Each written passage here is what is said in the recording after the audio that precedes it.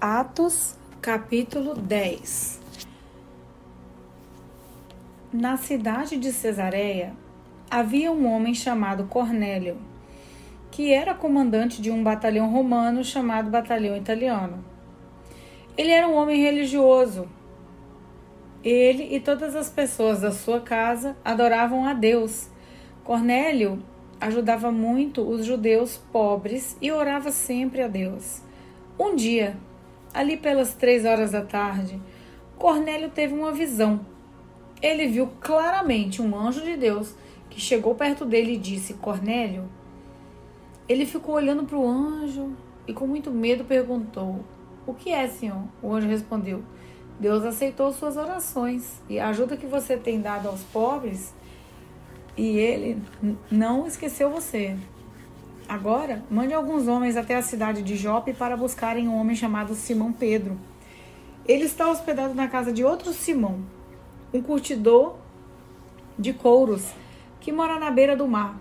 Quando o anjo foi embora, Cornélio imediatamente chamou dois empregados e um soldado que estava a seu serviço, que era um homem religioso. Cornélio contou a eles tudo o que havia acontecido e mandou que fossem a Jope. No dia seguinte, ao meio-dia, Pedro subiu ao terraço para orar, orar. Enquanto isso, os homens vinham pelo caminho, já perto de Jope. Pedro ficou com fome e quis comer alguma coisa. Enquanto o almoço estava sendo feito, ele teve uma visão. Viu o céu aberto e uma coisa parecida com um grande lençol amarrado pelas quatro pontas, que descia até o chão. Dentro daquilo havia todos os tipos de animais de quatro patas, de animais que se arrastam pelo chão e aves. Quando Pedro ouviu uma voz que dizia: Pedro, levante-se, mata, mate e coma. Pedro respondeu: De jeito nenhum, Senhor. Eu nunca comi nenhuma dessas coisas que a lei condena suja ou impura. A voz falou de novo com ele: Não chame de impuro aquilo que Deus purificou. Isso aconteceu três vezes. Em seguida, a coisa que parecia um lençol foi levada de volta para o céu. Pedro começou a perguntar a si mesmo o que aquela visão queria dizer. E naquele momento, os homens que Cornélio havia mandado já tinham se informado sobre o que havia, sobre onde ficava a casa de Simão e estavam na porta. Eles chamaram alguém da casa e perguntaram: "Por favor, por acaso um homem chamado Simão Pedro está hospedado aqui? Pedro ainda estava pensando na visão quando o Espírito Santo disse: Escute, estão aí três homens procurando você. Agora apronte-se e desça e vá com eles. Vá tranquilo, porque fui eu que mandei ele, que eles viessem aqui. Então Pedro desceu e disse aos homens: Eu sou a pessoa que vocês estão procurando. Por que vieram aqui? Eles responderam: Nós fomos chamados pelo comandante Cornélio. Ele é um homem bom, teme a Deus e é muito respeitado por todos os judeus. Um anjo de Deus mandou que ele pedisse a você que fosse até a casa dele para que ele ouvisse o que você vai dizer. Então Pedro convidou os homens para entrarem e os hospedou ali naquela noite. No dia seguinte, Pedro se aprontou e foi com eles. E alguns irmãos que moravam em Jope também foram. No outro dia, chegaram à cidade de Cesareia. Cornélio e os parentes e amigos mais íntimos que ele tinha convidado já estavam esperando Pedro. Quando Pedro ia entrando, Cornélio veio a seu encontro, ajoelhou-se e curvou a cabeça diante dele. Mas Pedro fez com que ele se sentasse e disse: Fique de pé, pois eu sou, eu sou apenas um homem como você Enquanto conversava com Cornélio, Pedro entrou na casa e encontrou muita gente reunida ali. Então, disse a todos: Vocês sabem muito bem que a religião dos judeus não permite que façam amizades com não-judeus e entrem na casa deles. Mas Deus me mostrou que eu não devo chamar de ninguém de impuro ou de sujo.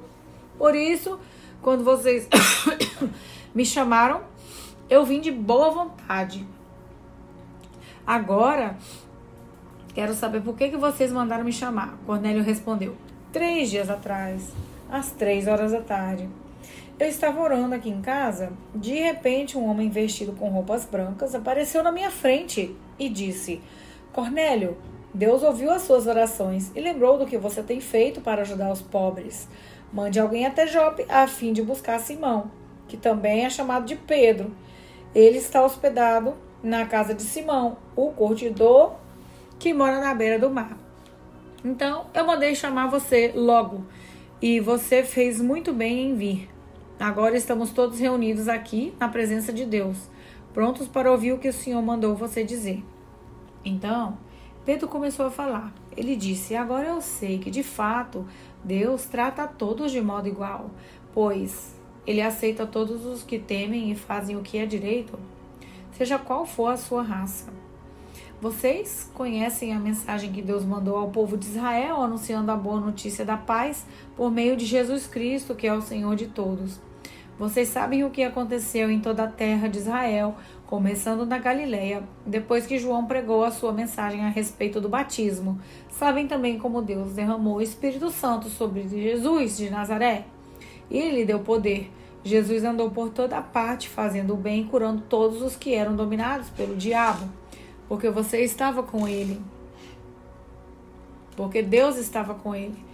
Nós somos testemunhas de tudo o que ele fez na terra de Israel, inclusive em Jerusalém. E depois o mataram pregando-o numa cruz. Pedro continuou. Porém, ressuscitou Jesus no terceiro dia e também fez com que ele aparecesse a nós. Ele não foi visto por todo o povo, mas somente por nós, que somos as testemunhas que Deus já havia escolhido. Nós comemos e bebemos com ele depois de que Deus o ressuscitou. Jesus mandou anunciar o evangelho ao povo e testemunhar que ele foi posto por Deus como juiz dos vivos e dos mortos. Todos os profetas fará, falaram a respeito de Jesus, dizendo que os que creem nele recebem por meio dele o perdão dos pecados. Quando Pedro ainda estava falando, o Espírito Santo desceu sobre todos os que estavam ouvindo a mensagem. Os judeus seguidores de Jesus que tinham vindo de Jope com Pedro ficaram admirados por Deus ter derramado o dom do Espírito Santo sobre os não-judeus, pois eles ouviam os não-judeus falarem em línguas estranhas e louvarem a grandeza de Deus. Então Pedro disse: Essas pessoas receberam o Espírito Santo como nós também recebemos. Será que alguém vai proibir que sejam batizados com água? Então mandou que aquelas pessoas fossem batizadas em nome de Jesus Cristo. E elas pediram a Pedro que ficasse ali alguns dias. Atos, capítulo 11 Os apóstolos e os outros seguidores de Jesus em toda a região da Judéia souberam que os não-judeus também haviam recebido a palavra de Deus. Quando Pedro voltou para Jerusalém, aqueles que queriam que os não-judeus fossem circuncisados o criticaram, dizendo: Você ficou hospedado na casa de homens que não são circuncidados e até tomou refeição com eles. Então Pedro deu um relatório completo de tudo o que havia acontecido desde o começo. Ele disse: Eu estava na cidade de Jope e lá, enquanto estava orando, tive uma visão. Vi uma coisa parecida com um grande lençol que baixou do céu, amarrado pelas quatro pontas, e parou perto de mim. Eu olhei para dentro daquilo com atenção e vi animais domésticos, animais selvagens, animais que se arrastam pelo chão e aves. Ouvi depois uma voz que me dizia: Pedro, levante-se, mate e coma. Eu respondi: Isso não, Senhor. Eu não comi nenhuma coisa que a lei considera suja ou impura. Então a voz falou de novo do céu: Não chame de impuro aquilo que Deus purificou. Isso aconteceu três vezes. E depois tudo aquilo voltou para o céu.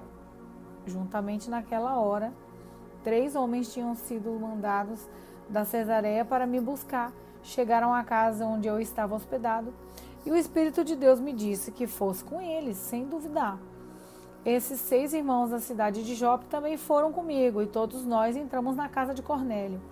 Então ele, ele nos contou como viu na casa dele um anjo de pé e lhe disse: Mande alguém a Jope buscar Simão, que também é chamado de Pedro.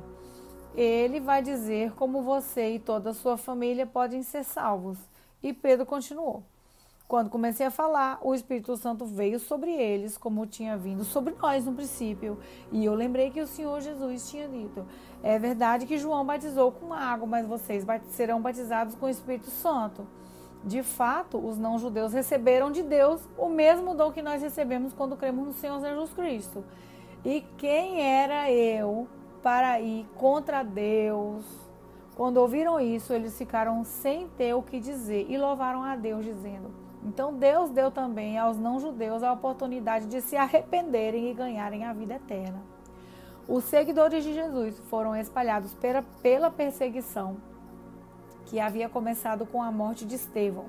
Alguns foram até a região da Fenícia, a ilha de Chipre e a cidade de Antioquia e anunciaram a palavra de Jesus somente aos judeus, mas outros, que eram de Chipre e da cidade de Cirene, foram até Antioquia e falaram também aos não-judeus, anunciando a eles a boa notícia a respeito de Jesus Cristo.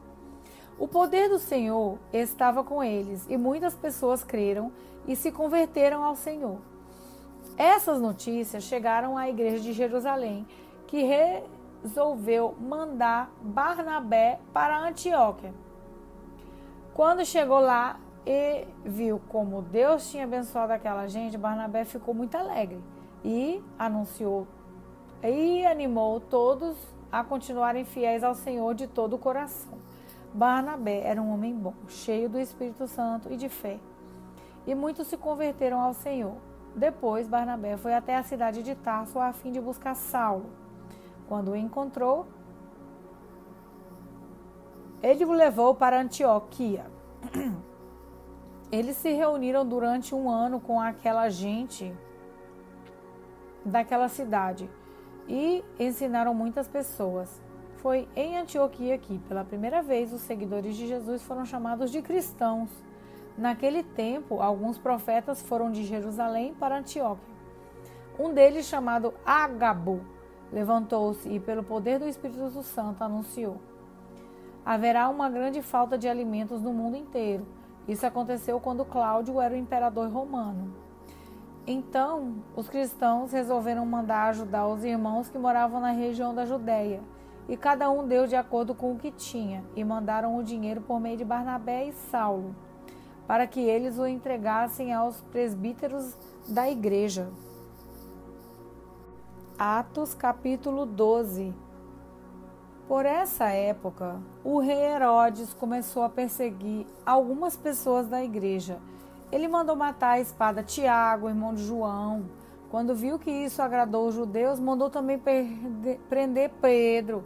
Isso aconteceu durante a festa dos pães sem fermento. Depois que prendeu Pedro, Herodes o colocou na cadeia e pôs quatro grupos de soldados, com quatro em cada grupo, para guardá-lo. Hum. É que Herodes queria apresentá-lo ao povo depois do dia da Páscoa. E assim Pedro estava Pedro e era Pedro estava preso e era vigiado pelos guardas mas a igreja continuava a orar com fervor por ele. Na noite antes do dia em que Herodes ia apresentá-lo ao povo, Pedro estava dormindo, preso com suas correntes, entre dois soldados, e havia guardas dividindo no portão da cadeia. De repente apareceu um anjo do Senhor, e uma luz brilhou dentro da cela. O anjo colocou no ombro de Pedro, ou o anjo tocou no ombro de Pedro e acordou e disse: Levante-se depressa. Então as correntes caíram das mãos dele. Aperte o cinto e amarre as sandálias, disse o anjo. E Pedro fez o que o anjo mandou. Põe a capa e venha comigo, ordenou o anjo. Pedro saiu da cadeia e foi seguindo o anjo, porém não sabia se, de fato, o anjo estava libertando. Ele pensava que aquilo era uma visão é, eles passaram, por, pelo, passaram pelo primeiro, pelo segundo posto de guarda e chegaram a um portão de ferro que dava para a rua. O portão se abriu sozinho e eles saíram. Andaram por uma rua e de repente o anjo foi embora. Então Pedro compreendeu o que estava acontecendo e disse: Agora sei que de fato o Senhor mandou. O seu anjo me levou do poder de Herodes e de tudo o que os judeus tinham a intenção de me fazer. Quando Pedro entendeu o que havia acontecido, foi para a casa de Maria, a mãe de João Marcos. Muitas pessoas estavam reunidas ali orando. Ele bateu na porta na frente e a empregada, que se chamava Rod, foi ver quem era. Quando reconheceu a voz de Pedro, ficou tão contente que, em vez de abrir a porta, voltou correndo para contar que Pedro estava lá fora. Então eles disseram: Você está maluca? Porém, ela insistiu que era verdade. Aí eles disseram: É o anjo dele. Enquanto isso, Pedro continuava batendo. Finalmente, eles abriram a porta e, quando viram que era Pedro mesmo, ficaram muito assustados. Ele fez um sinal com a mão para que ficassem quietos e contou como o Senhor tinha tirado da prisão. Contem isso a Tiago e aos outros irmãos, disse ele. Em seguida, saiu dali e foi para outro lugar. Quando amanheceu, houve uma grande confusão entre os soldados, pois eles não sabiam o que tinha acontecido com Pedro. Herodes mandou que o procurassem, mas não acharam. Então, depois de fazer perguntas ao guardas, mandou matá-los. Depois disso, Herodes saiu da região da Judéia e ficou ali algum tempo na cidade de Cesareia. O rei Herodes estava com muita raiva dos moradores da cidade de Tiro e de Sidom. Então, eles formaram um grupo e foram falar com Herodes. Primeiro conseguiram o apoio de Blasto, que era um alto funcionário do palácio. Aí pediram ao rei Herodes que fizesse as pazes com ele, pois os alimentos que a região dele, deles recebia vinham do país do rei. Herodes mandou, marcou um dia com eles e nesse dia vestiu sua roupa de rei, sentou-se no trono e começou a fazer um discurso. O povo gritava: é um Deus, né? não é um homem que está falando. No mesmo instante, um anjo do Senhor feriu Herodes, pois ele aceitou a honra que só Deus merece e ele morreu, comido por vermes. Porém, a palavra de Deus era anunciada em toda parte e ia se espalhando. Barnabé e Saulo terminaram o seu trabalho e voltaram a Jerusalém, trazendo João Marcos consigo.